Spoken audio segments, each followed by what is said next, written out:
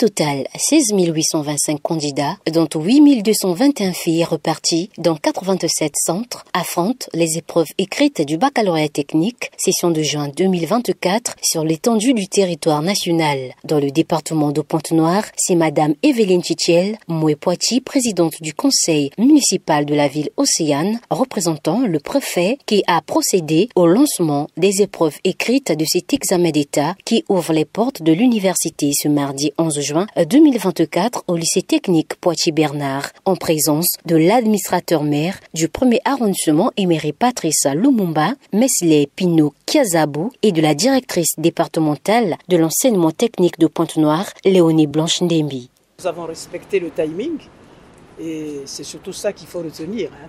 Tous les centres commencent à la même heure. Et euh, à cela, nous sommes allés dans les salles et j'ai senti des enfants peut-être pas stressés, mais prêts à composer parce qu'il y va de leur euh, avenir, de leur intérêt. Et j'ai tenu à leur dire que c'est un grand examen parce qu'après, c'est la vie à la faculté. Les enseignants, les formateurs, le ministre lui-même, euh, chaque fois, donne le conseil qu'il faut parce que nous avons besoin, et c'est ce que j'ai dit aux élèves, euh, surtout de Pointe-Noire, que nous puissions avoir de meilleurs résultats que l'année dernière. Mais vous savez, les enfants, il faut toujours encadrer, un bon encadrement.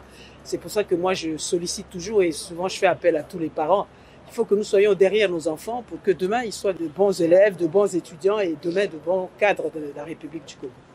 Abordés par Baron Matino, deux des candidats se sont dit très rassurés ça se passe bien. On vient à peine nous donner le, le de français. C'est abordable. Là, je suis chaud. Je me suis vraiment préparé pour affronter le bac 2024. Jorel Ongama, délégué de la lutte contre la fraude, a mis en garde les candidats en ce terme. Nous sommes venus pour euh, contrôler, veiller à ce qu'il n'y ait pas de dérapage en termes de tricherie, en termes de bébé Lily et autres. Il faut déjà reconnaître qu'ils ont fait neuf mois d'apprentissage c'est une évaluation. Donc euh, nous en appelons à, être sereins, à ne pas compter sur les bébés Lily parce que rien ne prouve que ce qu'ils ont pris sur un bout de papier, euh, c'est ça qui va venir. On rappelle, pour ce premier jour, les candidats des séries industrielles vont plancher sur le français et la technologie, ceux des séries commerciales, le français, les mathématiques financières et statistiques.